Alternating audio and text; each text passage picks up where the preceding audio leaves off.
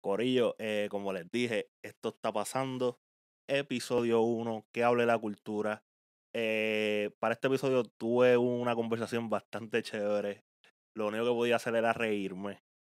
Eh, porque la historia del, la historia, como la cuenta el pana, la hace tan jocosa que, ¿verdad? Uno, uno se ríe, pero estuvo bien entretenida. un contenido exagerado. Estoy hablando, claro, la entrevista del gran Chantelli. Eh, rapero, compositor. Ahora mismo no está activo, pero rapero, compositor. Apareció en un Flow La Discoteca, DJ Nelson, eh, uno de los eh, productores más grandes en el género urbano. Eh, y, hablamos sobre todo eso. También hablamos sobre su tiempo trabajando en Full Locker, trabajando en, las diferentes tiendas de Nike. Y también hablamos un poquito de, de su punto sobre la cultura en Puerto Rico.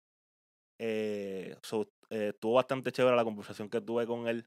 Eh, y como sabía que iba a ser buen contenido, pero por eso lo quería tener para este primer episodio. Entonces espero que se los disfruten. Eh, antes de pasar a él, quiero disculparme, Corillo. Eh, tuvimos unas pequeñas dificultades técnicas a nivel de audio y a nivel de video. Pero con todo y eso se puede ver y se puede escuchar. O sea, normal. Pero quería hacer esa aclaración. Ya para los próximos episodios, pues estamos un poquito mejor. Pero eh, como que ahora la estoy zumbando esta entrevista porque quedó buena. O sea, quedó bien chévere. Chantelli, súper a fuego. Eh, quiero agradecerle, ¿verdad? De nuevo por darme la oportunidad de entrevistarlo, de sentarme a hablar con él y de que fuera el primer episodio de esto que se va a llamar que habla la cultura. Pero como dije en el prólogo, para ¿verdad? no perder costumbre, no perder tradición. Eh, vamos para la entrevista, pero antes de, tira el intro.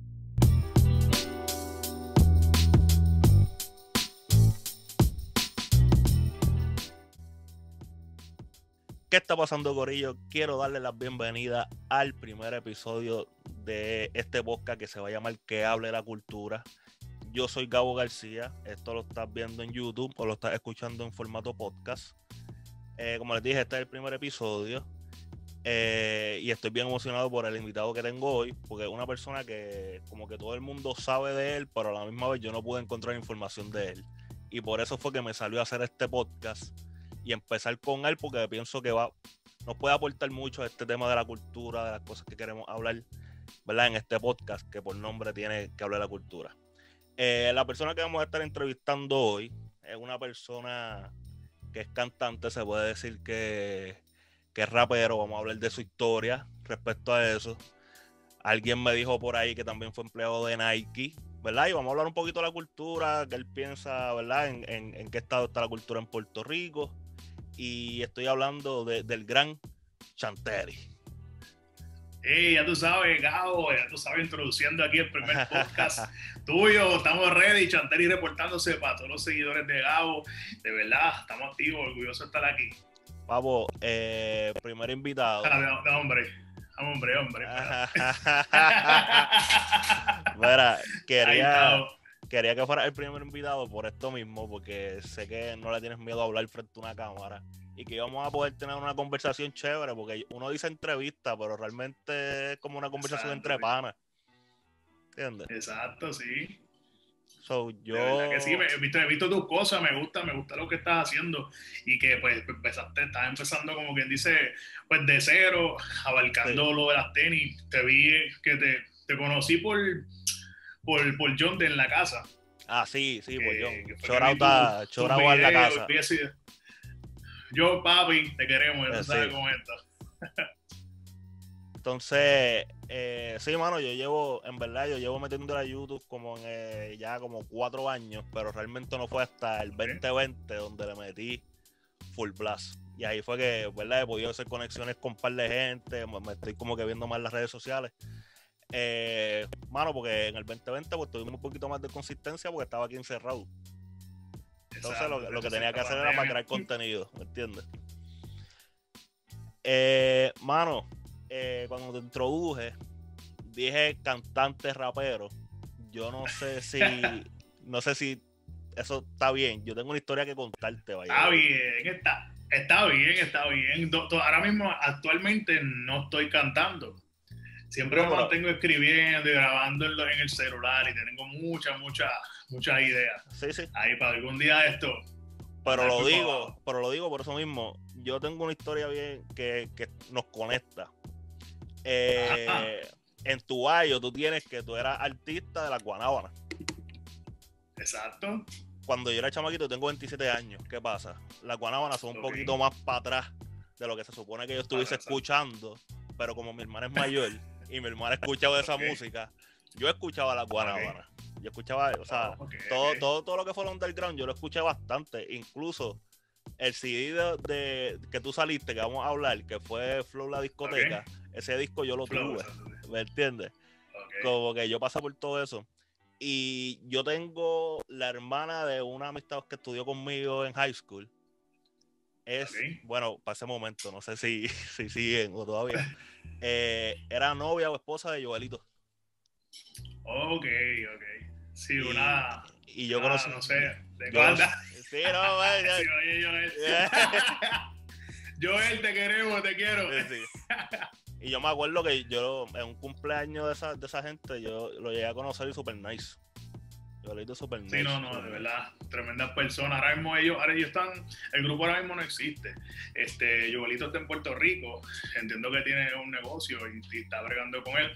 En Georgie, pues está en los caminos del Señor, está retirado completamente de las redes. No sé de él, hacen como, como tres meses ya no sé de él, pero está metido en la iglesia y está en Estados Unidos también la última vez que los vi, tuve una, estuve con ellos en una iglesia que me invitó a un culto que vino a Puerto Rico y estuvimos con ellos ahí de verdad.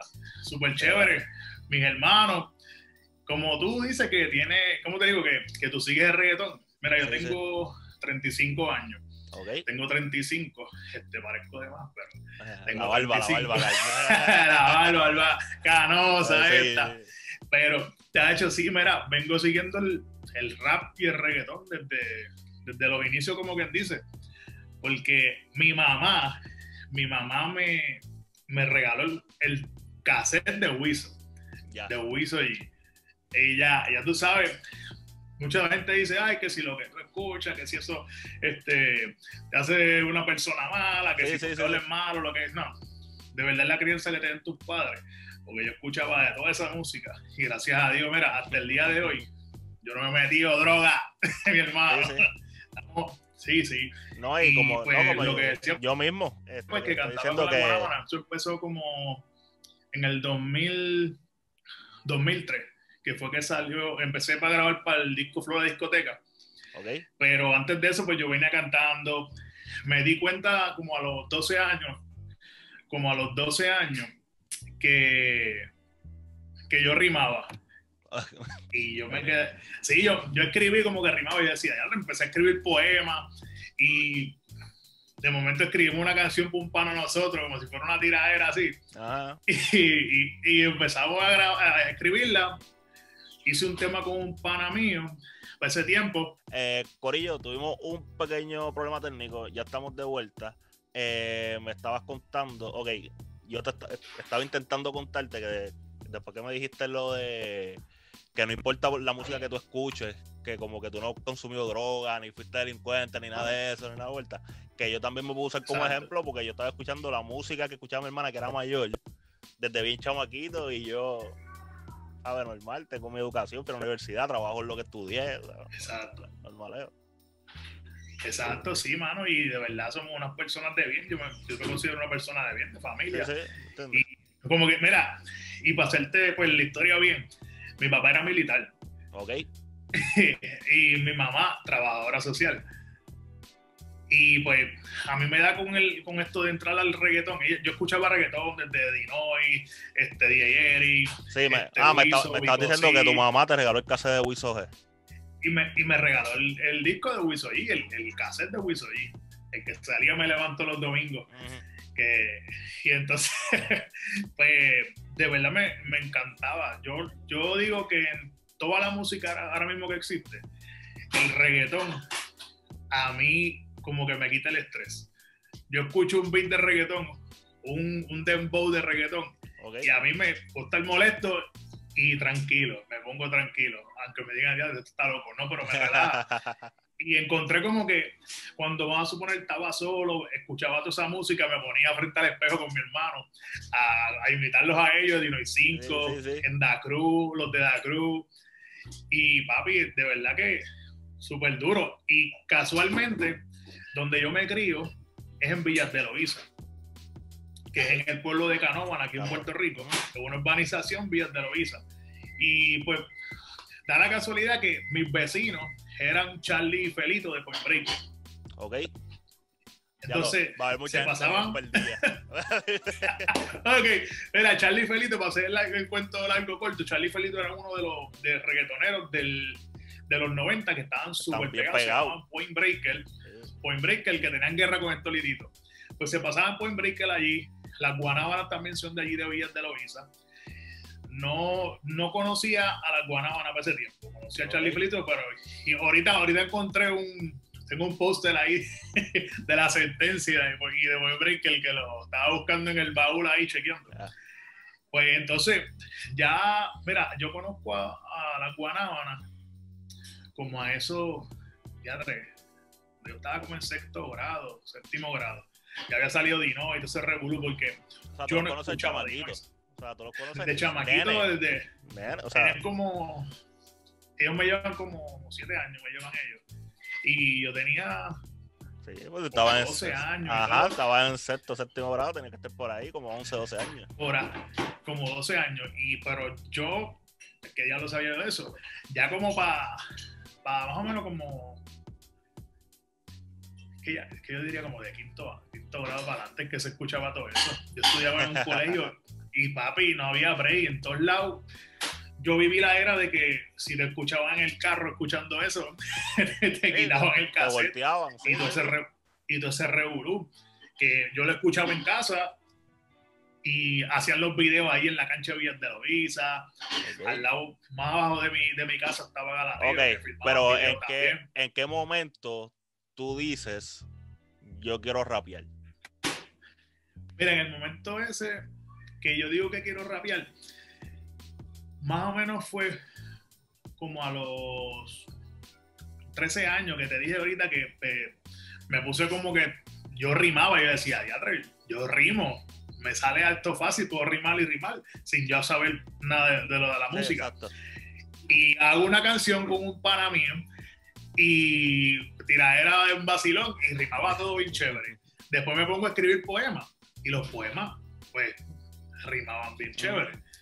Y hago mi primera canción con otro chamaco que, que era vecino mío y la grabamos en un estudio. Me grabó primero, el, digo, el primero que me grabó a mí fue Yacid Metálico, que ahora mismo él trabaja con Zion y Lennox. Sí, Yacid, el de los metálicos. lo, escucho. Pues, de pues Yacid es un productor musical que hace ritmos, ritmos bien duros. Y pues él fue el primero que me grabó en su casa en Carolina. Eso mismo yo te iba a preguntar, porque ¿para qué tiempo estamos hablando? Esto tiene que ser. Yo, mira, en las fechas mías, en las fechas yo soy bien malo, pero si no me equivoco, sí, porque yo me dejo llevar. Flow salió el 2004. Esto tiene que ser a. Más o menos el 2002, como más o menos. Al principio de los 2000, al final de los 90. 2002. Más o menos 2002, por ahí. ¿Qué tan fácil era? Qué tan fácil era tú, a principios de los 2000, tú ir a un estudio y grabar, ¿me entiendes? Como que...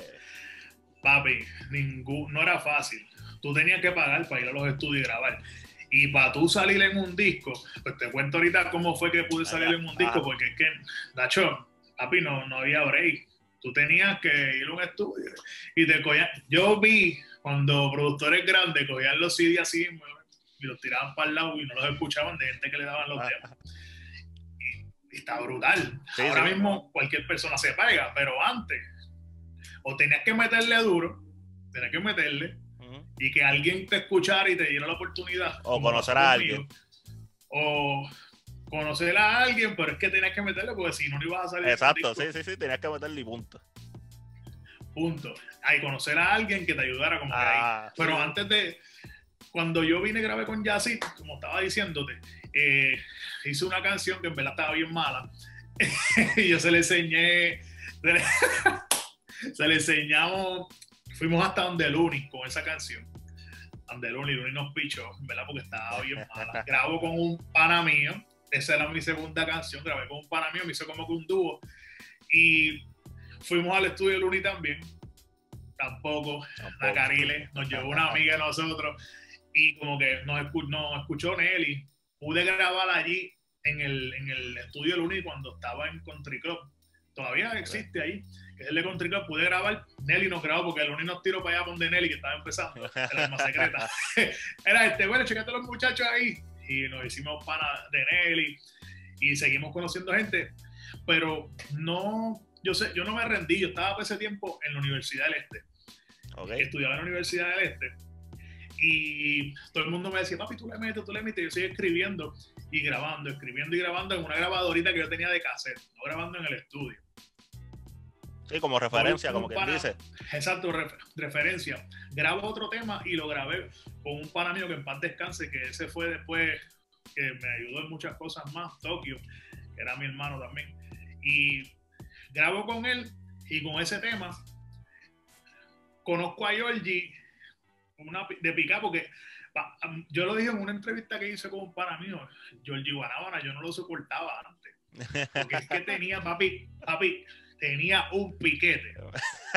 Era un piquetú y un flow, papi, con las gafas y todo, piquetú.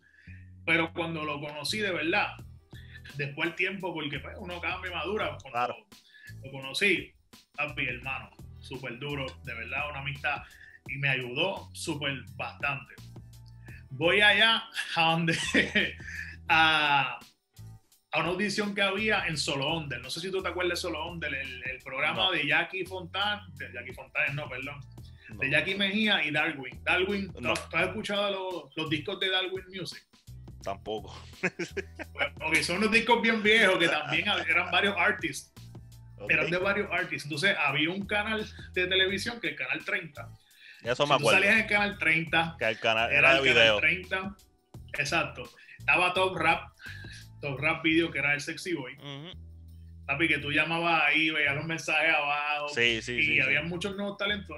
Le, daban la oportunidad a los nuevos talentos a que fueran a, a esos programas, a ver si tú le metías, a poner tu número de teléfono, a ver si un productor te llamaba. Pues yo fui con un pana mío y cantamos la canción. Ese día el, el juez, si no me equivoco, fue Wisin. Wisin y Maestro. Wisin estaba ese día este, estrenando la canción del Gistro Amarillo. Okay, que, la cantó en ese programa. Ya, ok. Ese día salió, eh, eso fue el estreno de, la canción porque él la cantó en Solo Under. Y yo canté ahí. En Solo Under cantamos la canción, chévere, todo el mundo, ya, le metieron esto y lo otro. Wisin nos aconsejó, nos dijo que nos soltaron un poquito más. Vuelven y me llaman de Solo Under como tres semanas después para ver si yo podía ir, pero el chamaco que, que yo cantaba, pues ya no estaba cantando con él. Y fui y le dije, mira, yo puedo ir solo. Claro, pero se quitó bien rápido. Sí, porque es que, pasaron un par de cosas, y estaba por un lado, estaba por otro. Ok, ok, ok. Y, y nada malo todavía, y fui solo. Y yo, papi, yo estaba bien cagado, en verdad. Estaba bien, bien asustado. Y me llevé un corillo de panas míos que siempre estuvieron conmigo en la universidad apoyándome. Y voy y canto. Esa vez estaba, yo creo que era maestro, el rapero maestro, el que estaba, con alguien más, no me acuerdo. Y canté solo, pero antes de yo eso, ya yo conocía a Georgie Guanaba. Y Georgie pues me pichaba, pues había mudado exactamente una casa entre medio de la mía. Llevaba poquito tiempo viviendo ahí. Entonces, Georgie le decía, mira, yo quiero cantar, yo quiero cantar, papi, tengo este, me ah, yo sí me pichaba. Pues nada, Le, digo, le digo esa noche, digo, mira, Georgie, voy a salir en solo under. Voy a salir en solo under para que lo veas, a ver si te gusta, porque en verdad, eh, no sé, a ver qué tú piensas de mí. Salgo en solo under, chévere, un palo. Al otro día, pues, me dice, mira, papi, ven acá. Porque me dicen Willy. Y me dice, papi, ven acá. Oye, me gustó lo que hiciste, está, está bueno, tengo unas pistas ahí. Así me dijo, te voy a unas pistas. las pistas eran de Nelly te doy una pista para que escribas algo, para ver si te puedo meter en algún disco y grabarte, no sé. Y yo, en serio, papi, me dio las pistas ese, día. A los dos días ya yo tenía tres canciones. Oye, pero, okay, pero pregunta, ya la guanábana aquí eran las guanábanas, o sea. Las guanábanas estaban exactamente este, súper pegada, ya estaba con, con, la canción esa de Bien Bella, que es la bien pegadota que más flow, del día que leo más flow, el disco más flow, ya estaban mundialmente locos, ya habían corrido así el mundo entero, porque mucha gente no lo sabe. Ellos corrieron el mundo entero mucho antes de los que están ahora. Sí, sí. Ellos, papi, hicieron discos, todos los cantantes que cantan, todos los cantantes que habían de la vieja escuela, ellos hicieron featuring, y muchos de los chamaquitos de ahora, mira, el primer video que hizo Jay Álvarez lo hizo con Guanábana, un video musical. Ahí fue la primera oportunidad y le dieron mucha oportunidad a mucha gente.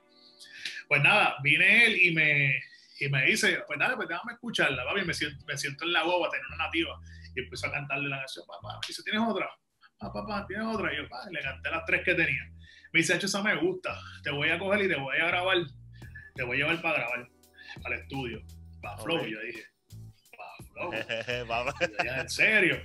Después entonces me empecé a pasar con él así, cada vez que lo veía, este, pues, me montaba con él y me llevó al estudio. La primera vez que salí con él fue con un shooting del disco Guanábana, no me acuerdo el nombre, que ellos salen al frente vestido de blanco. De blanco, me acuerdo. City. Me acuerdo la vuelta. Ese, ese disco, pues entonces yo fui para ese shooting del, del, del, del CD y estaba Nelson, Díaz Nelson, que se estaba tirando, esa, ese mismo día se estaba tirando la foto para el disco de Flor la discoteca, pero yo no sabía nada de ese disco. Okay. Y estaba Rafi Mercenario también, que iba a sacar los discos, tirándose un par de fotos ahí. Ese día nos fuimos a comer, papi. Conocí a Cochinola, comimos en Levi, con Julián Gil, una película ahí chévere. Vimos de todo el mundo. Viene y me dice, mira, te voy a darle meter un disco de Flor de discoteca. Hay que ir con de Nelson para que le canten las canciones, para ver si a Nelson le gusta. Brother, yo voy para pa el estudio de Flow. Y me llevo las pistas. Y estoy en el estudio de Nelson, el, el de abajo, el que, el que, sabe de los estudios. Y cuando escucha así, sabe que digo que es el de abajo, pues es el de Nelson, personal. Y me dice, Nelson me dice, papi, mira, pues entonces, ¿qué tú tienes? Nada más que qué ritmos son. Me pone los ritmos y me dice, vete para la cabina. Y yo, papi, yo estaba asustado, brother. Eh, vamos, asustado. Pues sí. Papi, brother, con Eh, DJ eh, Nelson ahí. Ajá, es la presión de que no te puedes escrachar porque le vas a presentar algo a DJ Nelson. No, y DJ Nelson te dice así mismo, no me gusta, no sirve. Así. Ya, es, es bueno, es bueno, pero a lo mejor para alguien que, que Sí, tenga sí. la autoestima o algo que diga, Claro. "Diablo, en verdad, este tipo dijo, no, papi, tienes que meterle para entonces este, poder seguir para adelante y, y que te Entonces te, escuchen". te metiste a la Bueno, cabina. Me- papi me meto a la cabina y me dice, dale, pues, ¿cuál pista primero? Y yo digo, pues, dale, ponte esa. Y empezó a cantarle tan, tan, tan, que era una canción como que de amor. Y era como que con, con guitarra y piano. Y me, ah, al frente del micrófono me dice, ¿tienes otra? Y yo, sí, yo, mira, tengo esta aquí. Pa, pa, pa, pa, pa, pa. Le canto la otra. Y paré. Y me dice, sigue cantando. Ah, y él está con Georgie. y Yo estoy viendo por el cristal. Está, lo viendo por el cristal. Sí. Y me dice, cantando. Y me dice, ¿tienes otra? y yo, ya no, papi. Y yo, y mira, tengo, tengo una más. yo tengo una más, pero no es más nada.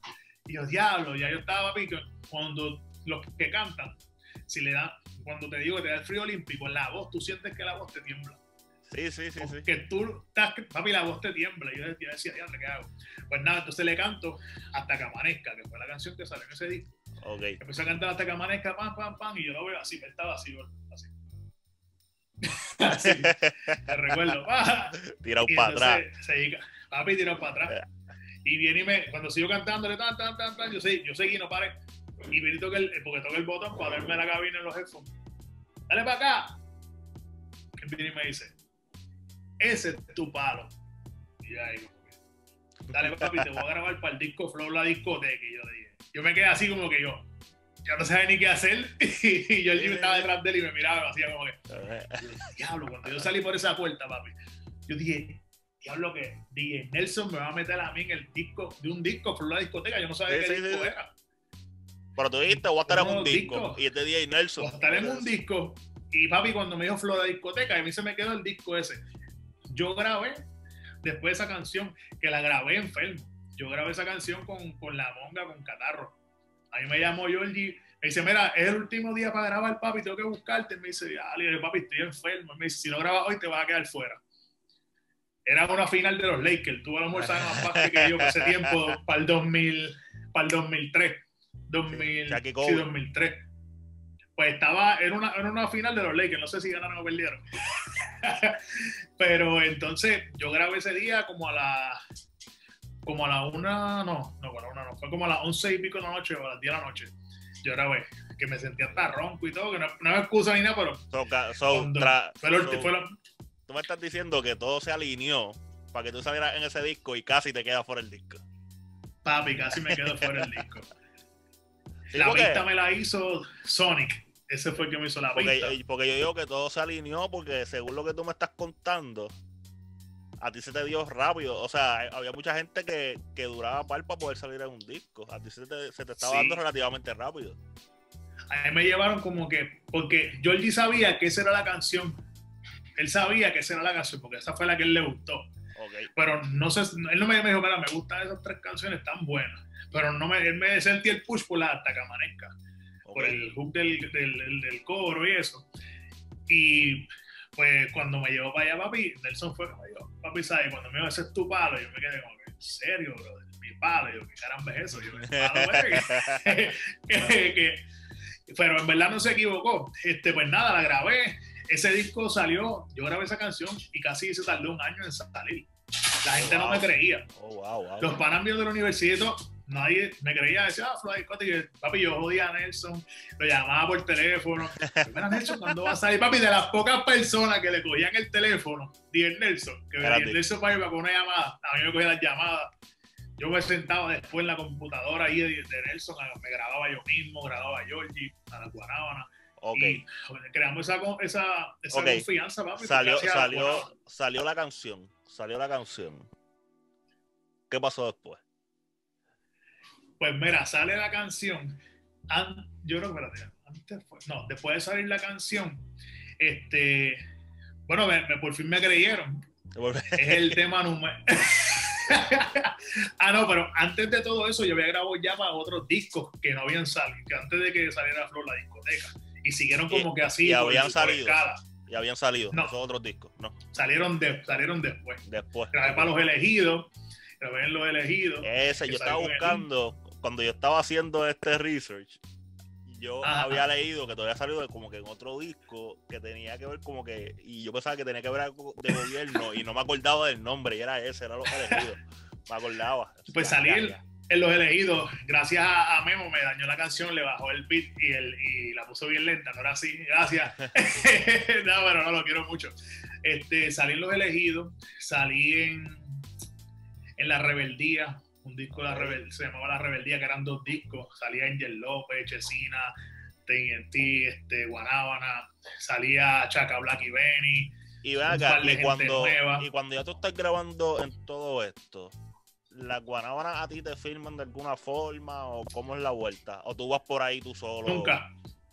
Nunca me filmaron. Mira, ellos sí, como que dice, fue un acuerdo. Yo siempre, yo pues soy bien leal con las personas que me ayudan, ¿me entiendes? Y a mí me gusta pues estar ahí. Ellos me dieron la oportunidad y te digo, yo esas mismas oportunidades que me dieron, yo salí en un par de discos diferentes, salí como en seis discos, si no me equivoco. Fue Flor la discoteca, Los Elegidos, Rebeldía, salí en un disco de DJ Reflex que era de, de allá en Nueva York, que se llama Sandunga Music. Salí en un disco, ah, en Los Cazadores, que fue un featuring con Guanábana, que era el disco Los Cazadores. Salí en, en otro disco de Guanábana con un mixtape y adicional otros mixtapes que habían salido regados por ahí por internet cuando estaba flowhot.net, Flow Exclusivo. Encendido, yo Salí en un disco cristiano. Un- tuve la oportunidad de hacer una canción cristiana que nos dieron como que, dice, fue, fue como que algo que vino así, no, Geraldo. Si no sé si sabes, Geraldo, el Me suena. antes Rico Suave, Ajá, que la canción de Rico Suave. ajá, ajá. Pues Geraldo, el papi, Geraldo corrió el mundo entero. Pues Geraldo, pues, él, él entró a los caminos del Señor y quería hacer un, un disco de raperos seculares cantando música cristiana al flow del reggaeton. Adelantado a su tiempo. Y pues, exacto. Y vine, pues. entonces vino, eso, papi, se llamaba, se llama La Iglesia de la Calle, se llamaba el disco. Ok, Y salí en ese disco con, con Georgie Guanábana, un featuring con Georgie Guanábana, y se llama este, Mi Señor. De verdad, algún día cuando tenga la oportunidad, escúchala. Es un mensaje bien bonito. Y va a- diciendo el mundo, ya lo Guanábana cantando cristiano. Pero en verdad fue algo que salió de ahí y salió bien, duro. Tú sabes que yo estaba pensando en eso los otros días. Yo estaba pensando en eso los otros días, que nosotros como que encasillamos la música y nosotros pensamos que, por ejemplo, los raperos y traperos que nosotros conocemos no pueden simplemente como que cruzar esa brecha en un momento y hacer quizás algo que le llene y volver y cantar de lo que cantan. Pero como que lo tratamos de, encajar como que, ah, esto es cristiano y esto es secular. Cuando realmente un artista pues, quisiera poder estar en los dos, ¿me entiendes? Exacto. Mira, yo, yo tengo temas que nunca salieron. Porque cuando yo, cuando yo estaba, que salió Flow Discoteca y salieron esos discos, cuando estaba como que en el pic de ellos, de, de él tenía que seguir su carrera, ¿me entiendes? Yo tenía las puertas abiertas. Yo ahora mismo, yo, en ese tiempo no conocía el negocio, no sé cómo era el negocio, regalías, entonces revolú. Y él me decía, me graban todo, graban en todos lados, pero yo como que, qué sé yo, no sé, no aproveché a lo mejor esa oportunidad de todas las conexiones y toda la gente que yo conozco. Y pues me quedé como que normal y no había salido más disco ni nada. Viajé mucho con ellos, viajé, llegué hasta España, brother, hacia el party, todos los parties. Aunque no me crean, papi, todo el mundo cantaba la canción de Hasta que amanezca. Todo el mundo. La primera vez que yo la canté con ellos, tú le abrías a las guanabanas como quien dice. Yo, ellos cantaban sus primeras cuatro canciones, me introducían en la, en la quinta canción con Flor la discoteca. Okay. todo el mundo me la cantaba y yo cantaba las otras canciones con ellos y me quedaba en la tarima haciendo las voces con ellos y con ellos ahí, no atrás, en el mismo interactuando con el público. Sí, sí, okay. en verdad que aprendí mucho a, a, bregar con la gente, porque no es fácil porque tú tres partes de arriba sin ser nadie y poner la gente a gritar. Ahora, chacho, papi, ¿no? Y pues. pues entonces, ¿qué pasó después? En la misma, ah. Después que este, salieron todos estos discos. ¿Qué pasó después? Después pasó después de esos discos, no hice más nada con el reggaetón. Me puse a estar haciendo videos. Me quité, como quien dice, quitado. Tenía la Chantelicam desde ese tiempo. Eso te iba a decir, entonces, ok. Vamos a cruzar, vamos a cruzar un momento, vamos a cruzar un momento. Tú me enseñaste ayer unos videos, cuando estábamos cuadrando para esto, tú me enseñaste unos videos de como hace 11 años, ¿no? Sí. Y ya tú estabas en Chantelicam. Chantelicam yo pensaba que simplemente era como para tú cubrir, o sea, según los videos que me enviaste es para eso todavía, pero como que para cubrir cosas, mala mía, para cubrir cosas del reggaetón, o sea, del género. Chantelicam está para documentar, como quien dice. Exacto, mira, Chantelicam era como que para documentar, empezamos, hacíamos nosotros, lo que pasa es que por ese tiempo se hacían muchos videitos para las páginas de internet. Para Bunny Crazy, Flow Exclusivo, para que salieran ahí, porque no había manera, lo que había era MySpace. Para MySpace, papi, yo tenía, yo no sé, un montón de seguidores, papi, en MySpace. Mi música la, la, tocaban en MySpace, papi, pero una cosa absurda. Ahora, papi, es un revolú. Papi, para MySpace yo era famoso. Entonces, pues, hacíamos videos que estábamos en el estudio, la idea de hacer todo eso, lo que, por eso te digo que yo no conocía el negocio. Si a lo mejor yo hubiese seguido, y no sé por qué, ni güey, como que era yo dediqué mi, mi, vida a hacer otras cosas, porque había que pagar las cosas. Sí, como que hay que pagar pilas, hay que buscar dónde comer. No lo ve, exacto, yo no lo veía como negocio, lo veía como un entretenimiento. Yo hice esto, yo viajé, yo estuve dos años viajando haciendo con ellos, porque después estuve, estuve con Guanábana y después me fui con Noriega, con Norgi Noriega, el de Looney Tunes y Noriega, a hacer show con él, porque él, es un compositor y le escribía a todos los artistas, a Tito, a Cartier, a Simon Lennox, este, a Checa. Y entonces él hacía su party, me llevaba a mí porque yo chanteaba que rapeaba. De ahí viene mi nombre, Chantelli, del chanteo. Y entonces, pues, yo hacía party con él. sí, de ahí que viene. Entonces, pues yo me iba con Noriega y hacíamos los pares, cantaba sus éxitos y yo cantaba mis canciones, que tenía cuatro canciones de ese tiempo. Y entonces, pues él cantaba copio y hacíamos un medio de todas las canciones que él había hecho los palos de él y eh, de las mías. Y hacíamos, hacíamos show con él, haciendo papi en cualquier lado. Te quitaste, te quitaste. Eh, ok, te quitas de la música y sigues haciéndolo del Chantelicam o, o te quitas full de todo y después que lo retomas de nuevo. Me quito, me quito de la música no porque quiero, porque seguí estudiando Y bajando y no lo veía como un negocio, lo veía como un gol que, diadre, mira, ya salí en esto, ya hice esto, y qué sé yo. Pero la Chantelicam la tenía porque nadie tenía cámara. Los celulares no tienen cámara. Y yo veía, mira, yo veía a Dr. Manix que grababa con cámara exagerada. Yo veía a, a, Top Rap, que es Sexy Boy, en los videos y decía, pues es que yo puedo hacer eso también, papi, dentro del estudio, que todo el mundo vea las cosas, este, si voy por un hackeo con unos panas también, y empecé a grabar un par de cosas, y la gente, la gente, la Chantelicam se lo puso este Joelito, porque cada vez que yo estaba en un show con ellos, yo sacaba, yo tenía una Casio, papi, que para ese tiempo era, me costó 400 pesos en 2003. 10.1 megapíxeles. Par de pesos. Papi, sí, era bastante. Entonces, venía Joel, Joelito me decía, ya viene Chantelli con la Chantelica. Pues yo sacaba la, yo sacaba la cámara, papi, donde sea. Mira, papi, que esto no estoy haciendo. Ah, y entonces se quedó la Chantelica. Ok, ok, y grababa muchas cosas, pero no lo veía como que lo documentaba para nosotros, hacía los videos que tenía que hacer para ellos, los míos, los saludos por, por, teléfono, grababa, grababa mucho para las emisoras, para presentarle más, que si, la Chantelli presentando, qué sé yo, la Mega, y se Y pues ese revuelo. Pero lo veía como que un gol que tenía, no de negocio. Y que lo hice y tuve esa experiencia. Ok, pues vamos a hacer el crossover, porque de la forma en que yo te conozco y te comienzo a seguir es por el Chantelli Camp per se, pero fue cubriendo algo de unas tenis. Yo no me acuerdo qué era. Entonces, vamos, vamos ah. un poquito para atrás. Vamos un poquito para atrás. Y ahora vamos a hacer ese crossover de las tenis. Porque me dijiste que te quitaste de la música, seguiste estudiando y te fuiste por otra vuelta. Tu amor por los tenis, ¿en dónde comienza? ¿Comienza desde chamaquito o comienza cuando ya tú estás en este flow de que estás rapeando y eso? Pues empieza desde antes, empieza desde que yo estaba, exactamente de lo que tengo uso de razón desde sexto grado, que salieron las Concord, la Jordan Retro 11 Concord, ahí, las Pippen. Entonces, mami, pues no me podía comprar unas tenis tan caras. Y nunca yo, mira, imagínate, yo vine a tener una Jordan cuando mi esposa, que mi esposa se casó conmigo, me regaló una Jordan. Yo no tenía Jordan, yo era Air Force. Pues desde sexto grado yo veía esas tenis. Mi abuela me compró unas Pippen, las Ustempo, las Dream Team, las blancas y azules. Las blancas, ajá. Las blancas y azules. Esas, esas fueron mis tenis más duras, 140 pesos. Y las tenía, pues, chévere, en séptimo grado, si no me equivoco, algo así, sexto.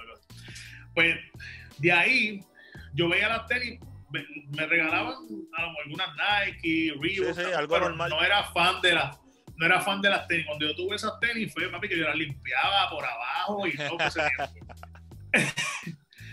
y empezando la música y, y, esto y las tenis van atados porque desde el 2003 pues yo me gradué de la, de la escuela superior okay. y consigo trabajo en Full Locker de Plaza Carolina, World Full Locker. Ok, sí. Ah, dame un break, dame un break, porque la gente tiene que acordarse de esto. Yo me acuerdo de chamaquito, yo nunca vi, hasta el sol de hoy yo no he visto ninguna tienda de tenis así todavía.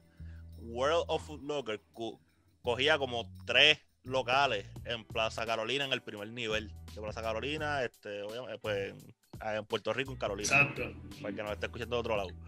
Y era, mano, tenían un tipo en el mismo medio aguantando una bola del mundo, como si fuera una Eran dos, dos tipos aguantando dos bolas de... Entonces era como que unas bolitas adentro. Y entonces como que era de las primeras tiendas, yo siento como que tenía un montón de luces, como que habían algunos stands que eran como que colgantes así de, de plástico, era una cosa bien exagerada. De plástico transparente. Las vigas, las vigas del frente eran rellenas de bolas de pelota y de Ajá. Como que era... entrar ahí era un sueño. Ajá, era algo, estaba bien cabrón. Y yo entraba desde chamaquito ahí con mi abuela, que yo siempre estaba en Plaza Carolina con mi abuela. Y pues nada, de momento fui, fue por una temporada que yo trabajé como, no, no llegué al año, si no me equivoco, más o menos como un año yo estuve trabajando de part-time. Y me conocí mucha gente ahí, pero empecé a trabajar ahí. Y la fiebre antes eran las gorras. Para el tiempo que yo estaba eran las New Era, las gorras Yankee. Que está volviendo. Yo estaba en la universidad, sí, y entonces yo estaba en la universidad y estaba también cantando en el estudio, a ver si yo le guardaba gorra. A, a Joelito le guardaba, porque Joelito era 6 siete, que venía una en, la caja. Sí, sí. ese tiempo único. Entonces las Whitey, las Whitey, este, pues ese tiempo la, la Workout siempre se vendían mucho en blanca, blanca y negra. Plan- Ok. Llegué a ver las Don Omar, las Don Omar, La, las la. Umbro. Y, ¿Tú sabes de qué me arrepiento? ¿De qué te arrepientes? Del banner, del banner de, de, de Yankee Ajá, y el de Don Omar. ajá. Que yo no sé quién se lo llevó porque lo habían cogido y lo habían botado, ese banner. Que lo Ah, hubiese porque- tenido todavía guardado ahí. Diablo. Sí, porque eso lo cogen y lo botan.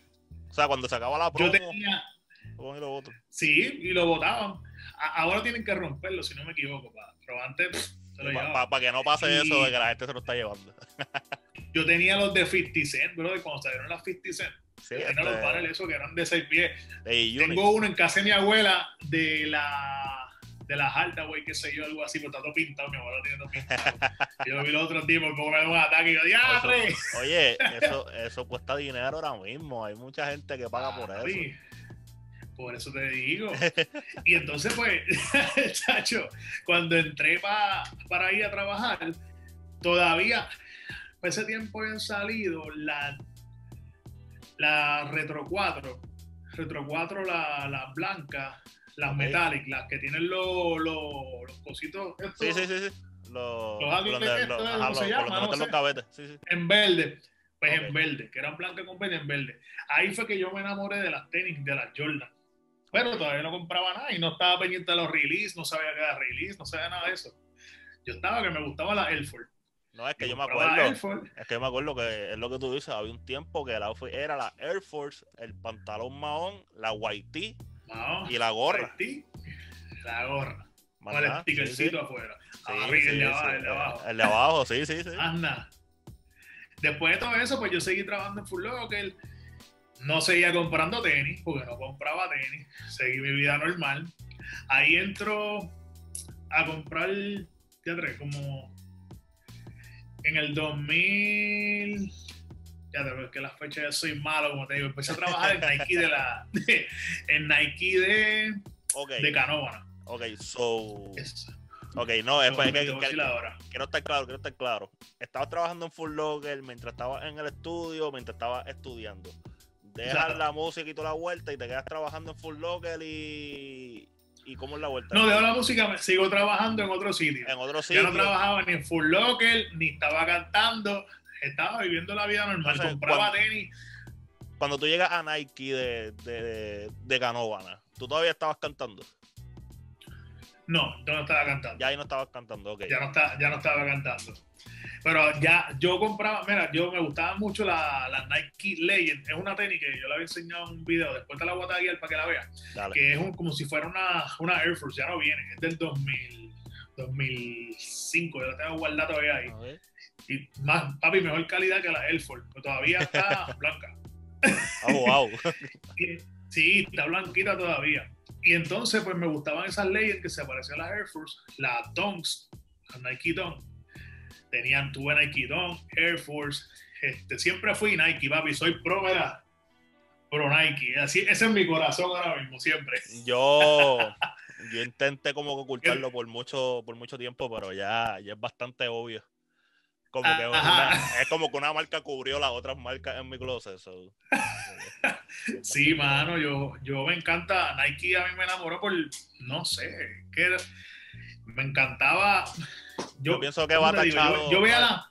yo pienso que va tachado a lo que hemos vivido, como que a lo mejor si tú veías algún atleta que te gustaba o alguien que tú admirabas y las tenías, pues eso se le queda a uno y eso va trayendo a esas cosas. O sea, cuando yo veía los juegos de básquet cuando chamaquito, pues yo veía a Jordan que tenía la, la 11, la 1, yo no sabía de esas tenis. Incluso trabajando en Full Locker ese tiempo, yo no todavía no sabía cuál eran las 1. Supe que eran las 4, pero no, no, como que no estaba Bueno, pendiente pero cuando, cuando ya tú estabas trabajando en Full Pues- Locker, ya, eran retros, ¿no? Esa, eh, Sí, porque si eran para los, si sí, eran para los ya 2000. estamos en el 2000. Sí, sí, eran para los 2000. Era, era 2000. 2003, 2000. Sí. Sí, me imagino que él tenía que, o sea, me imagino que estaban saliendo tenis, pero la que estaban saliendo ya era cuando él estaba con los Wizards, me imagino. Sí, Por ahí, por ya, esa yo, vuelta. ¿verdad?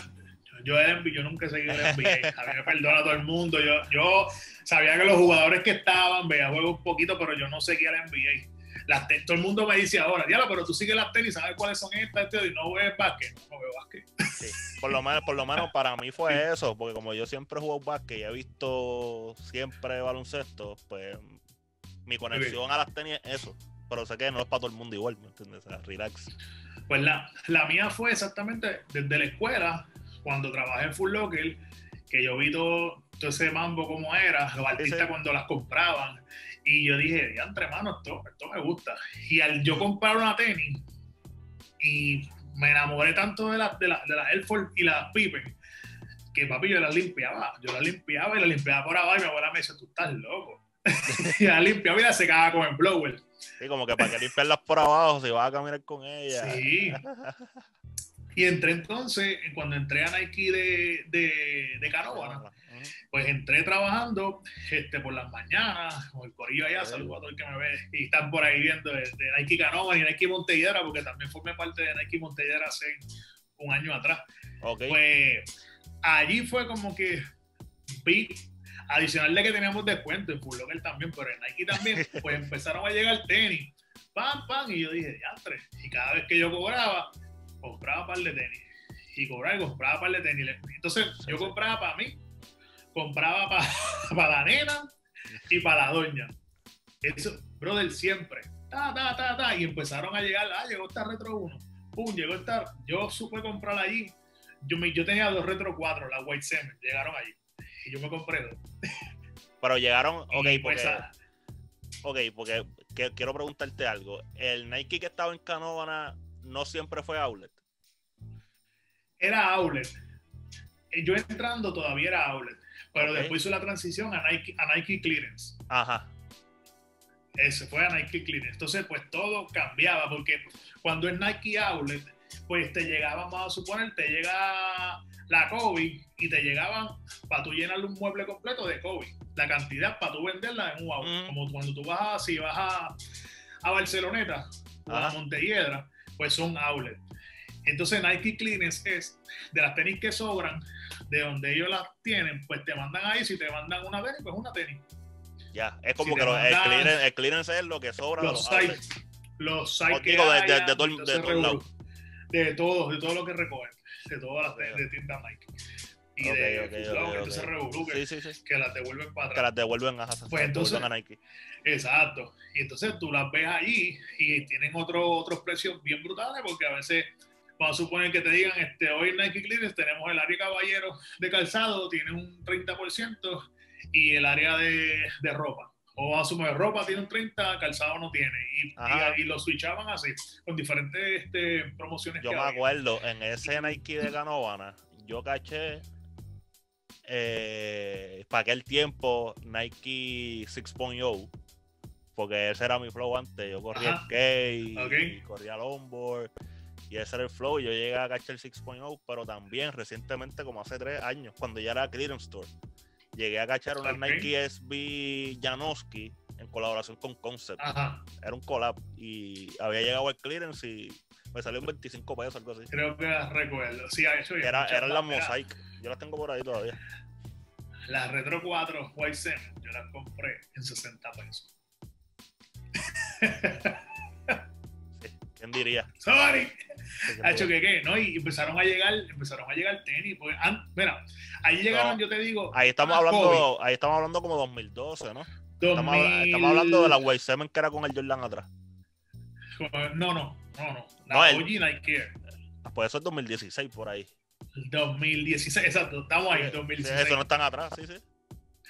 Pues entonces llegaron, yo me compré esos dos ahí. Casi muchas de las tenis que yo tenía las había comprado ahí. Porque pues yo, yo tenía, compraba su ahí, cambiaba, pam, pam, y llegaba la que yo quería. No, Sí, sí. digo, no allí, llegaba yo a comprar la que yo quería. Claro, sí, sí, mundo. Y entonces pues empezaron a llegar muchas tenis, más la ropa. Antes de que se cambiara a clearance, había, papi, habían allí, yo digo que, yo creo, si no me equivoco, yo vi las Kobe Grinch, pero llegaban todas las Kobe, las compraba mucha gente. Yo no compré la muchas tenis de, yo compré muchos de tenis de baloncesto allí. Papi, y las compraba un montón de gente. Pero no era tanto el auge como ahora, que pues, desgraciadamente, pues, lamentablemente, Sí, ya, ya. no está.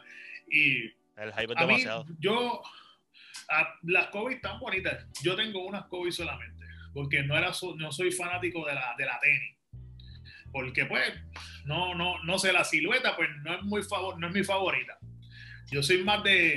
Esta es la, que yo tengo. Esta es la, yo tengo una nada más, también. Esta es la 11, la All-Star Game. Está dura, dura. Y está nueva. Sí, no, no, no lo uso mucho. y la uso para jugar básquet, no. Ok.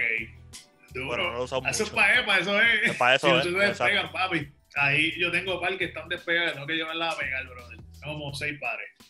So, pues entonces, ya, pues llegaron muchas COVID. Ok, ok, llegamos al 2016, ya estamos aquí al lado. Estamos un break. Estamos un break. Estamos ahí. So, tu amor, como quien dice, de las tenis, obviamente empezó cuando chamaquito, cuando me dijiste que, ¿verdad? Este, las pipas que te regaló, te regaló tu abuela. Pero entonces viene a crecer ya por, el, por la experiencia que tú estás cogiendo por trabajar en todas estas tiendas. Porque vas conociendo más, o sea, te vas, vas entendiendo Exacto. más. Mi amor por las tenis, pues empezaron, como quien dice, más brutal empezó aquí en Nike de Cano. Ya. Cuando yo empecé a ver todas esas tenis, yo, diantre, y yo decía, la voy a comprar, la voy a comprar, la voy a comprar. Y a veces estaban a precio regular, no tenían promoción. Y los panas del trabajo me decían, pero tú eres loco. Y yo, papi, si esto no va a venir más nada. ¿Qué tú quieres que yo haga? Y entonces las compraba, brother, a veces a precio regular. Yo las veía que llegaban, me gustaban esas, yo las quiero. Y las compraba. Y así Sí, sí. mismo, y cuando a veces pues las veía en, si, si iba full lock, los chamos, Ujú. cualquiera, las compraba ya. ¿Sabes, Ya. ¿Sabes la razón por la que esa tienda cambió a clearance? No, no vendía Bueno, bien, no, decisiones de ahí arriba. Una decisión de ahí arriba, decisión de ahí arriba. Yo entiendo que si estuviera ahora mismo, Tacho, fuera un palo, de verdad. Yo pienso igual, por eso, por eso estoy preguntando, yo pienso igual. palo. Yo pienso igual. Sí, de verdad que sí. Eh, yo fui a la de Montelledra, he ido también a la de Barceloneta, he ido a las dos. Pero siento como que en, en la de Canóvana como que siempre habían como que más cosas. No sé por qué. Como Sí, es que, mira, lo que pasa es que, como te digo, parece que, no sé, la persona que hacía órdenes para acá, compraba, pues, yo digo, contra, tienes que ver el mercado latino, brother, la gente que, que busca tenis aquí, porque aquí hay mucha gente Claro. que, que son sneaker game. Yo soy un sneaker lover, yo no soy un sneakerhead. A mí me gustan las tenis, puede ser una tenis barata y yo digo, esa me gustó. Espérate, eso, eso, es, buen, me eso, es buena- gustó. eso es buen tema. ¿Qué tú, qué tú consideras que es un sneakerhead? Un sneakerhead es que el que compra todas las tenis, que le gustan todas las tenis, va y las compra, las tiene que tener porque esa es la que va y sigue comprando de todas las tenis. Pero no es que- sé si Pero es que entonces tú eres un sneakerhead, porque es que un sneakerhead no, le No. impo- pero es que un sneakerhead no, le- no le iba a importar la tenis. O sea, no le iba a importar si es hype o no. Un sneakerhead se supone que compra lo que le gusta. Pero no, pero es que a un sneaker lover le gustan las tenis. Sneakerhead pues ya va buscando el hype. Sneakerhead es el que tiene lo último. no, no, no, no. El que tiene lo No último, está buscando lo último, para mí es un hype. El que está buscando lo último, el que quiere tener lo último que salió, porque esto es como quien dice lo más cliqueable en las redes sociales. Por ponerlo de esa forma, Ah, para mí eso es un hype beast. Un sneakerhead, Pues es- un alguien que le gusta las tenis y que compra y hace intercambios de tenis y toda esa vuelta. Para mí. Sí, pero yo no me considero hasta ese nivel de sneakerhead, pum, de que, ah, tengo que quedarme sin comer para comprar las tenis. Es que yo tampoco. O tengo que Si- por- sacrificar. No, si- te eso- por No, no, te, entiendo. Pero yo, no, pero yo conozco gente, papi, que lo primero primordial andan en un carro, este, que no le importa tener un carro bueno, andan a pie y tienen las tenis porque tenían que comprar las tenis. Igual no, chavos, para eso. No, Eso no, yo lo no. considero como, como más un sneakerhead. Eso sneaker lover para mí, de- sí, sí, más o menos. sí, sí, el concepto que yo que tiene he visto así, pues más o menos pues eso. Eh, me considero que me gustan las tenis, no, tanto lo que sea hype. y ya que estamos hablando de la eso. palabra y eso, ¿qué tú piensas de la cultura aquí en PR? Fíjate, mira, pues, Y que la has visto Había como mucha- quien no dice diferentes fases. Como quien dice, porque estar metido en la tienda tú ves como las transiciones y lo que está pasando también. sí, mano, hay muchas personas, digo, ahora hay mucho pirateo, bro. A mí esas cosas, chacho, papi, a mí eso me le explota. Y no, yo no critico a la persona que usa la tenis pirateada, a lo mejor no la puede conseguir, qué El, sé yo, prole- el problema es que digan que es real. El problema es que diga, mira, no, si esto es pa-". No, papi, no, brother. Porque de acá abajo, yo, acá, yo te estoy mirando y yo te esto que te embuste, no me vengas a medir con esas fecas. Sí, sí, sí, sí. Y pues, pues veo que como que muchos chamaquitos no saben lo que significan las tenis, no, a lo mejor tienen una Jordan 1, una Brett y ah sí, una Jordan, por tener una Jordan. Que no saben quizás pues, no, la historia no saben, Exacto, no saben qué significa, a lo mejor. Yo no me sé todas, pero de verdad, este, he visto que hay personas ahora mismo en el juego que ya más o menos son como 38 por ahí, 38 años, 40. Que esa gente pues llevan que la cultura como es. Los chamaquitos, hay muchos chamaquitos también de ahora que la están llevando bien, que la están llevando bien. Pero hay mucho lo que te digo, el, pirateo y ahora también otra cosa que me molesta y me molesta a mucha gente, la L, esos luz Sí, sí, es que está complicado, está complicado comprar. En estos últimos años y medio ha estado bien complicado comprar. Entonces, los revenders, papi, eso lo suben para allá arriba, brother. Y tú, tú ves la tenis en internet. ¡Bam! ¡Ya lo que bonita! Eh, y ya, se acabó. Entonces, es muy difícil, brother, para la gente, porque a lo mejor el que vende tenis y la coge rápido, y así va a venderla. Tú la quieres comprar para Exacto, ¿no? Y, que en PR es más complicado, porque en PR casi no tenemos casi opción. O sea, ni, como tenemos los full locker y los champs y eso, pero no tenemos más nada. y no le llega a todo. y entonces yo sí, ¿no? Y, no le llega a todo, entonces yo digo que el mercadeo, el, tipo de mercadeo de arriba, pues tendría que hacer como que un, un, un mercadeo súper bueno para acá, porque aquí hay mucha gente que como te digo, que son que le gusta el sneaker game. Sí, yo pienso que, que, ni el mercadeo. tienen oportunidad. Yo, yo, pienso que es que, que lleguen las tenis. O sea. ¿Qué te digo es mercadeo? Porque, porque es que no, no, te puedo hablar de lo de allá de donde yo trabajaba, porque pero no puedo decir aquí, no puedo, no puedo hablar de aquí porque no, yo, yo, yo entiendo, yo entiendo lo que tú me dices de mercadeo, pero yo simplemente digo que nosotros, con que simplemente las tenis lleguen, no, esa tenis se va a ir soldado. O sea, si esos releases siguen llegando, en Puerto Rico se van a seguir vendiendo. Yo pienso que esos pares que no están llegando aquí, no es que ellos están perdiendo, porque obviamente esos pares terminan vendiéndose en otras tiendas, en otros sitios. Pero puedes sacar más ganancia acá. O sea, puedes pedir más inventario y las de aquí no se te van a perder, ¿me entiendes? Entonces, si estamos hablando de generar dinero, piensa que es una isla pequeña. Ay, yo tengo ese problema con Adidas, porque la tienda que nosotros tenemos de aquí de Adidas son de deporte. O sea, es de más enfocado en correr, soccer y eso. No es un Adidas original. Que por eso es que no le llegan las Yeezy, como quien dice, no le llegan estas especiales de dicho. Porque están enfocados más en deporte. Exacto, sí. Exacto, y son. Y yo digo, como está el juego de tenis ahora mismo, los stickers, no sé cómo esa gente no visualiza esta isla. Entonces, no sé en qué se enfocan, porque hay mucha, mucha gente que, que como quien dice, los pide a gritos y los piden por las redes. Yo veo que los taguean, taguean a Nike, taguean a Full Locker. No, y, deben como que y nosotros no diciendo y nosotros no estamos diciendo que llenen las tiendas nosotros estamos diciendo que seamos de break Exacto. Mira, como quien dice, las Puerto Rico, las tenis de Puerto Rico, yo sé que eso lo hacen por la parada puertorriqueña y todo eso, pero si es de Puerto Rico, ¿por qué tú no la sacas en Puerto Rico? No, debería ser un evento, La última, la... Exacto, papi, la tenía Puerto Rico, brother. Tú me vas a decir que la vas a sacar en Nueva York solamente. Está bien, hay boricos, pero brother, ¿y la isla? Ajá, ajá. Mira, Balvin sacó la Jordan, ¿dónde fue que salió primero? Pero primero salió en Colombia. Primero salió en Colombia, Y, no fue, y no fue un día antes, fueron como tres, cuatro días antes. Exacto, entonces la de Puerto Rico, ¿dónde la sacan? La sacan por allá. Nike, ¿estás viendo este programa? Sí, yo espero. Ayúdanos a que no llegue. Yo espero que, yo espero llegar a un momento en que alguien de esa gente vea esto. O sea, porque, ok, fine. Nosotros quizás no somos un mercado bien grande, pero también son unos otros países y como quieran los suplen. ¿Me entiendes? Aunque. Y, la, y la, el problema que tenemos nosotros ¿verdad? Y estoy entrando un poquito más a cosas políticas, no políticas, pero como que el estatus de nosotros, o sea, nosotros no, como quien dice, para mercadeo es bien difícil porque nosotros somos un mercado latino, estadounidense, pero que no consumimos en Estados Unidos. Pero tampoco, tampoco consumimos de Latinoamérica.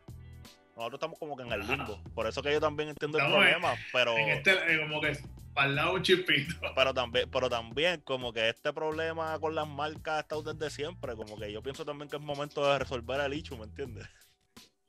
Sí, sí, de verdad, ya, ya para este tiempo deberían de hacer algo porque es que es todo, brother. Y con el problema, es un problema para muchos y beneficioso para otros de los revendedores, que está bien, chévere.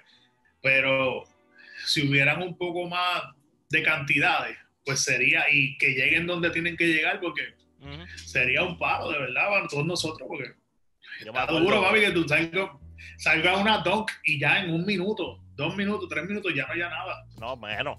No llega el minuto, no llega el minuto, bueno. Ni un minuto, eso es ahí, ¡pum! Ya se acabó. Yo, increíble. Llegó un momento, yo, fue el año antipasado, 2019 creo, eh, que comenzaron a llegar ciertas GC a Full Locker. Y yo dije, coño, a, lo mejor está el principio para, ¿verdad? Para que sigan llegando más cosas, pero todo eso paró. Aquí había llegado la, ¿Cuál fue la que llegó primero? Yo creo que primero llegó la blanca. Creo. Yo, no, la otra, la, la que Brown, no, no la. Ah, la, la, Yo la Sesame. La Sesame. Y la, y la Zebra, pero antes había llegado la Border. La Border fue la La Border, fue la Border, la Border. La Border. La border. Y mira, yo para coger, yo no sé cómo ya lo fue, porque mi país y yo nos llamamos igual y nos apuntamos en la lista de Plaza Las Américas. Y yo fui a Ponce, papi. Yo fui a Ponce a apuntarme en la lista de Ponce. Y me llamaron de la cebra, me llamaron de, de Plaza de las Américas. Y yo dije, mira, un día ahí no. Yo fui el segundo en la lista de apuntarme. No, pero con ti eso, con ti eso, para ese momento las tenis no son lo que eran ahora. Yo siento que esto ha crecido tanto en año y medio, dos años. Que hasta los viejitos. Hasta los viejitos saben la que hay. La gente, yo hice un video. Las señoras, las señoras viejitas. Eso mismo te iba a decir. Jordan no, y no solamente eso, yo he visto a mucha, mucha gente, mucha gente con Yeezy hasta en el supermercado, brother.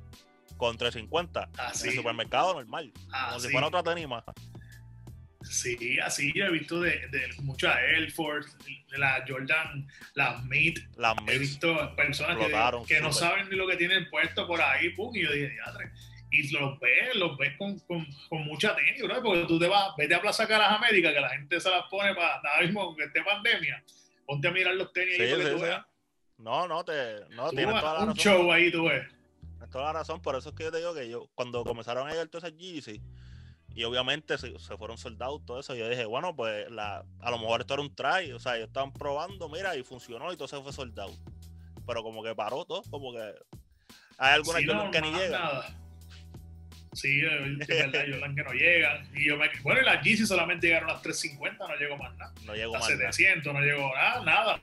Pero eso, eso quizás yo lo entiendo, eso quizás yo lo entiendo porque eso no le llega a todas las tiendas tampoco. Las 500, las sí, 700, no, no. Pero las 350 que le llega a todo el mundo. sí, igual también de, la, de las Jordan, que a veces las tiran para pa Nueva York, California. Este, sí, tiendas esos bien grandes de Chicago. Tiene, uno tiene cero break. No. Papi, yo me metí, mira, yo me metí para, yo me metí para la, yo no sé si eran unas bread que había que iban a salir, que eran enumeradas, no me acuerdo cuáles son. Y tenía el range de, decía que ver dónde tú estabas en el mapa. Si estaba yo no sé cuántas millas, podías ser, podías coger. Ajá. Podías ser, darle yo, tío, yo estaba papi a 100 años luz de ella. sí, es que. Break. Entonces Nike nos puso ahí un sneakers fake como que para Puerto Rico en el website. Si tú te metes a nike.com slash pr, nosotros tenemos un sneakers que es por web nada más. Sí, sí. Pero es como que competimos con todo el resto del mundo. En sneakers de Estados Unidos competimos con sneakers de Estados Unidos, pero en el website de nosotros competimos con todo el mundo. Mira, nosotros teníamos, cuando yo trabajaba en Nike, teníamos la oportunidad de comprarle en la en Sush. Sush era la página de, este, de, los empleados, de los empleados. Pues compramos ahí, pero entonces también estaba Nike Puerto Rico, Sush Puerto Rico, pero lo mismo inventario que estaba ahí no era el mismo que estaba allá. Exacto. Ya estamos, volvimos, ya estamos, estamos aquí. Ajá. Pues mira, este, pues como te estaba diciendo, este, pues tiene sush y el sush es de empleado. Sí, que el inventario era diferente al que estaba en la otra. Diferente Puerto Rico y Estados Unidos diferente. Yo, siempre compraba y le enviaba a una, una, amiga mía en Orlando y ella me la enviaba para acá. Que a veces tenía que pagar un poco más de. El shipping era gratis a veces allá, para allá pero tenía que pagar el shipping para Puerto Rico. Pero podías con tu misma cuenta, con la misma cuenta de sush, de, o sea, con tu misma cuenta tú podías comprar en ambas la de Puerto Rico y la de Estados Sí, Unidos. eh, exacto, en Puerto Rico y, y Estados Unidos. Pero entonces Nike, yo no sé si ahora mismo Nike.com está chipeando para Puerto Rico, porque para ese tiempo Sí. no estaba chipeando. Eh, pero tienes que, entrar, chipeando por la de Puerto- tienes que entrar al website de Puerto Rico. Ok, ok. Nike.com no sé cuánto era. Pues entonces, a otro veces que es gratis, para que es gratis, ahora mismo. Ok. O sea, ah, pues no he chequeado hace si tiempo. gastas tanto, pues gratis. Sí, a veces son 100 pesos. y eso. Exacto, sí, Está, sí. está bueno. Pero y yo lo, yo lo hacía doble, a veces tenía que esperar, a veces una tenis me llevaba en casi un mes. Porque yo tenía que esperar que llegaran a la casa de la amiga mía, Sí, que ella estuviera, que, tuviera tiempo para llevarla. Para enviarla, sí, sí, sí, sí. No, y que tenemos, seguimos teniendo el mismo problema ahora. Con muchas Sí, tiendas, porque hay un montón de. Ahora yo siento que también esa es otra cosa que pasó, como que hubieron muchas tiendas que pararon de chipear para Puerto Rico también. Sí, por lo de la pandemia, este revolú y, el, ahora. y el shipping a veces en, la- en algunas tiendas es bien caro. Como que Sí, hay por veces lo que menos el de. Le bajaron 5 pesos el de stock. el de el de StockX, StockX sí, le bajaron 5. es ba- mano, pero lo aproveché ya. ah, eh, había un par de boutiques allá afuera en Estados Unidos que antes yo compraba Ajá. y ahora últimamente el shipping ahora es más caro. Antes me cobraban, qué sé yo, 20 pesos, ahora es 35. Y yo, pero espérate, espérate, espérate. Ok. que eso como que el también está pasando, eso también está pasando hasta el garete, man. No, ya, yo no sé, también se están dando cuenta, acuérdate que ahora todo va a ser a través de, de aquí. Sí, sí. Ahora es aquí todo. Y yo digo, cuando se acabe la pandemia, como quiera, va a seguir a través de, de internet. Va a Sí, ser yo todo. también, yo también, yo también, yo pienso que esto que estamos haciendo va a ser más normal. Yo también pienso. Como que lo Sí, digital. esto va a ser ya el diario vivir de todo Ajá. el mundo. Mira, otra cosa que te digo de- del mismo Nike, Nike va a tener que tú te puedes medir el pie, no sé si todavía ha salido, a través de tu celular. En Sí. una aplicación de, Eh, o sea, de Nike. no sé si ha a salido, pero el no sé. de tu pie, Sé que iba a poder hacerlo. pues iba a salir eso. Y Sí, iba como- también a hacer como que dice, tratar de, de eliminar que tú fueras a la tienda y te Eso- llegue a eso. tu casa. No, que ellos mismos están eso, diciendo eso es que otra cosa. ellos le cortaron mucho. Como que cortaron muchas tiendas que ellos suplían. Como que muchas tiendas pequeñas. Como que le cortaron el contrato diciendo como que ellos iban a estar enfocándose más en sus tiendas. Entonces, como que todo ese Ah, y inventario otra que cosa que se me olvidó. iban a, a las tiendas de Nike. Mala mía que te dije. Sí, mala mía que te había dicho. ¿Te acuerdas que me preguntaste ahorita de, de Nike Canova? Ajá, Eso fue para María. Para María fue que, que tumbaron. ok. Sí, que a lo María. mejor para. O sea, Que que María para- tuvo efecto para eso, para, pues. para eso. O, Ah, lo usaron, bueno. o lo usaron de excusa. Pero. Exacto, de excusa. Exacto, sí. Ellos, Pues, chacho, pues yo estaba brutal porque todos ese año. Sí, sí, yo me acuerdo que ese mall fue de los más que duró cerrado. Exacto. Sí, me acuerdo, me acuerdo. Mano, eh, ha sido un placer. Hemos hablado bastante.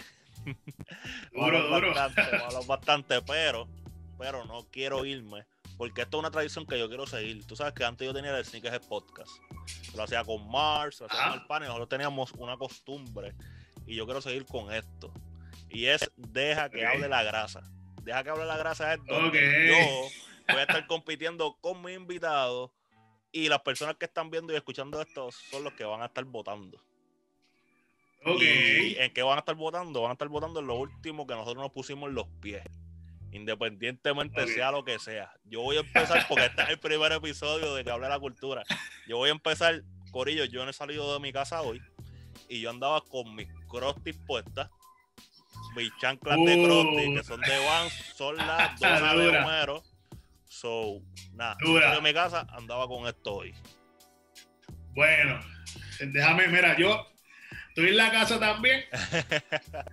Ando por aquí, mira, a ver si por aquí, bueno, esto es un zapatito raro, que tú no lo ves por ahí mucho. Esto es una Ah. Nike Mock. Una Mock. Nike Mock. Ok, yo no lo había visto. Esto, esto salió, en, si no me equivoco, fue para Japón que había salido. Yo las caché en Montelledra que llegaron. Ok, Es una Comfort Day- un for all day que tú puedes tener la baby con todo el día puesta. Sí, no, en verdad se ve cómoda. En verdad, en verdad se ve súper cómoda. súper- y de verdad está súper ready. Una Nike Mock. Y por ahí yo no la he visto. pues ya saben, Corillo, en los comentarios, yo voy a poner esta parte también en Instagram. Quiero que comenten y nos dejen saber cuál de los dos ganó esta batalla en este primer episodio. Si yo con mis crusty, con mis crusty y mis donuts de Vans, o con la Air Monarch, me dijiste, ¿cómo es? La Mock, la Nike ah, la Air Mock. O la Air Mock de, de Chantel. Ustedes nos dejan saber en los comentarios. aquí matamos la liga con los Mock, ya tú sabes. En verdad, en verdad, en verdad, Ya tú sabes. Eso está bien duro. Esa tenis está bien duro. Eh, nada, para ir despidiendo tus redes sociales. Mira, pues mis redes sociales es Chanteli787 en Instagram, eh, Chanteli en Facebook. Puedes buscarme, mira, pones chanteli.com y te sale directamente al Instagram mío. Gabo, gracias, viste, por la entrevista, por la conversación. Oye, tú le quieras llamar, estuvo bien cool, bien chévere. Espero que la hayas pasado bien ready, super ready. Así que estamos activos, mi gente. Y nada, este, le deseo todo lo mejor a Gabo para que siga para adelante aquí. Así que bueno, mi gente. El blog de Gabo. Gracias, gracias. Oye, me pueden seguir en las redes sociales, el blog de Gabo, Instagram y Twitter. Eh, suscríbase al canal. Si estás viendo esto en versión audio, suscríbete, dale a la campanita. Si estás escuchando en versión, perdón, en versión video, si estás escuchando en versión audio, eh, suscríbete también al podcast, Apple Podcast, Spotify, donde tú escuches podcast, Gabo va a estar con que hable de la cultura. Eh, de nuevo, muchas gracias. Eh, y Corillo, nos vemos en el próximo episodio de Que habla de la cultura. Estamos activos, que hable la cultura.